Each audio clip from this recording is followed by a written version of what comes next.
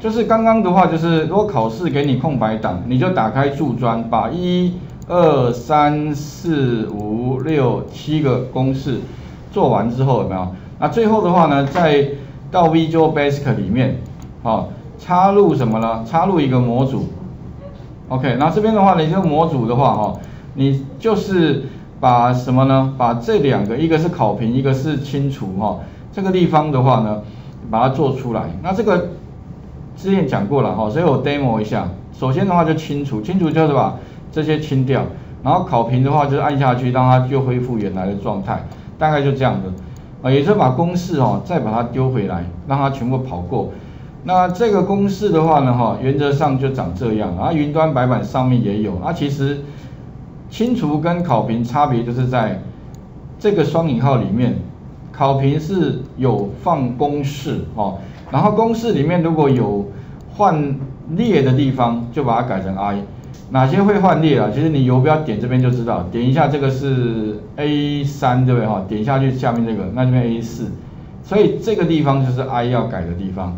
哦，OK，那细节部分哈，请各位呢再去看一下那个哈，这个我们 Portal 上面的影片吧，自己再稍微复习一下哈。那最后的话呢，还有一题就是，所以这一题啊，记得哦，最后把它存档的时候，记得另存新档，这个非常重要，因为之前也有考试有同学做完了，但是忘了存所谓的启用剧集的活页簿，所以一存档之后发现哇，完蛋了，刚刚写的程式全部消失，那怎么办？没有就没有，因为如果你存错档哦，像之前有同学存成这个活页簿，然后按储存，它会出现这个是否什么呢？哎妈！下列功能无法储存无聚集的活页簿哦，然后你按是或否呢？那之前就有同学按是，然后就交交了，那一打开有按钮，但是按没有反应，一看哇，你存错档了。那跟各位讲哦，如果你存错档了也是没有分数，因为我不知道是不是真的有你有写程式，还是说你只是会做按钮而已。OK，所以这个请特别注意一下哈。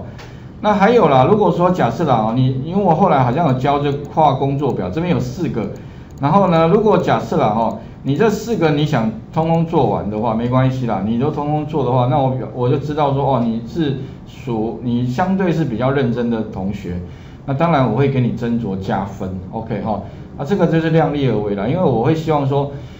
呃，如果你真的很认真、很努力的话，那我会当然会在分数上给你比较呃，就是高高的这个分数了哈。OK，那也是一种鼓励啦。好，所以这一题的话，也也许就是先到这边啊。那再来的话呢，请各位哈，再开启这个第三个饭店管理。那饭店管理哈，其实跟刚刚那一题也蛮像的，也是用所谓的 VLOOKUP 函数。那主要哈会有几个地方可能比较重要的，第一个就是说要先产生什么，所以哦原来哈空白这个地方原来是空白的，从 A 二有没有？一直到底下这些原来是没有的，那也就是我们要把这个所谓的 Booking ID 就是订单的编号要把它产生，那产生的规则哈之前我有讲过，所以你们可以再把之前的影片稍微再看一下，基本上哈。它总共 book ID 总共有呃四个结构了。第一个结构就是说，这个是什么？哎，L 一有没有？这个其实就是它的缩写，它的它的缩写。那减号后面第二个的话，就是 Check In 的日期，然后一定要啊用那个所谓的呃，如果个位数字哦，比如说一六的话，那前面一定要补零零一零六。然后呢，三的话指的是什么呢？缺高日期减掉缺根日期再加一，等于是住几天的意思。然后最后的话，这个第四个哈，其实就是它的 first name。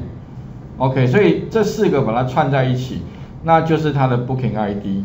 OK，大概第一个部分哈，这个我们前面讲过，所以细节部分哦，可以再看一下前面的影片，或者是看一下云端上上面的答案哈。啊，所以哦，考试的时候就是要把这一串公式把它输入上去啊，所以这这个是第一个。那第二个的话呢，不过特别注意哦，这个 Booking ID 跟这个第二个工作表 Bill List 是有联动的，所以你如果前面做错了哈，后面呢跟各位讲也就错了，所以啊特别注意啦，如果你希望哈全部都做对的话哈，记得前面先做对，那再来第二个的 Bill List，这个我先按按按钮 Bill List，好，那，最后的话，它要查出什么呢？查出这一二三四五个东西。那当然，第一个啦，你先把公式先输入上去哈。公式的部分的话呢，基本上哈，第一个，诶，就是去查查，根据这个 Booking ID，所以你会发现哦，如果你前面的 Booking ID 是对的，你再去查前面的 Booking ID，才会查到后面的资料。但是如果你这个 Booking 前面的 Booking ID 做错了，你怎么查都查不对。所以之前也有发生过同样的状况，有同学前面 Booking ID 好像少了一个什么资料，或多一个什么资料，那最后跟后面的不吻合，他就查不到了啊。所以呢，哈，前面做完之后的话，再来把后面的这个 B 到 F 栏，通通把它做出来。那 B 到 F 栏的话，总共哈，它要我们查几个东西啊？第一个就是说，哎，它这个 Booking ID 呢，住的房是它的名字叫什么？哦，所以它的 First Name 跟 Surname 把它并在一起。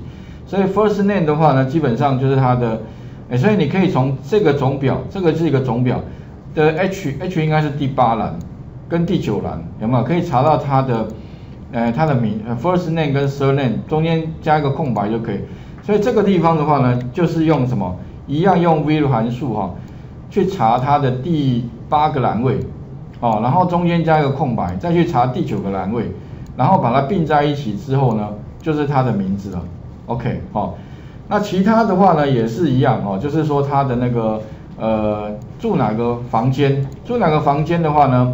应该在它的总表里面的第六栏，哈，所以呢，哈，我们就是把那个第六栏有没有查出来？所以一样根据它的 booking，就是前面这个总表，然后查到它的第六栏，OK，那查到它 room number，哈，然后住几晚的话呢，其实就是把什么，把它的这个什么 check out 日期减掉缺个印日期，那这个是第第五栏，这个是第四栏，哈，所以五减四啊，有没有？所以查询到第五栏，减掉第四栏，那就是几晚了，啊，那 price 比较麻烦，price 的话呢，基本上哈，它要到另外一个呃表格去查，哪个表格呢？就是叫 looking price，你可以从那个公式里面的名称管理员哈，看到这边有个叫 looking price，其实就这个范围的哈，这个范围在这里有没有？它前面是缩写一杠，然后后面是它的房间，哎，所以。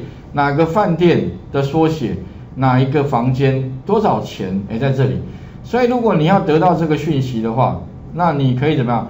可以第一个哈，先去串接。那我们前面是用什么？用那个呃 left，就也就是它的编号前面三个字啦，其实就是缩写加一杠。然后后面的话呢，再去串一个什么 and 有没有？所以这边有个 and c，c 二指的是什么？它的房间编号，所以哦，前面这三个再串接这个，那串在一起呢，就是我们要的资料，然后再去用 v 函数呢去查，所以就可以查到它的房间多少钱。那最后把这两个相乘，就是它的总价了。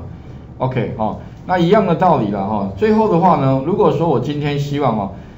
把这边变 VBA，所以最后的话哈，当然考试的时候我就是总共其实就是第一个把这个做完，第二个的话就是把一二三四五做完，所以总共六个哈，那最后呢再做 VBA，那 VBA 其实一样啊，跟刚刚那一题类似，也就是先清除，然后再把公式再丢回来，啊啊公式的话其实也就是其实差不多了啊，就是把这些贴到。公式里面去，那至于详细的细节哦，程式的话呢，在云端上也有。另外的话做法哦，其实在那个 portal 上我有之前的录影，所以请各位哈把这个地方回去再复习过了哈。所以基本上哈原呃本来应该是试题，不过看一下哈，就是说这个好像对各位来说是有点负担的，所以我就把它再剪一下。所以我们最后的决定就是说，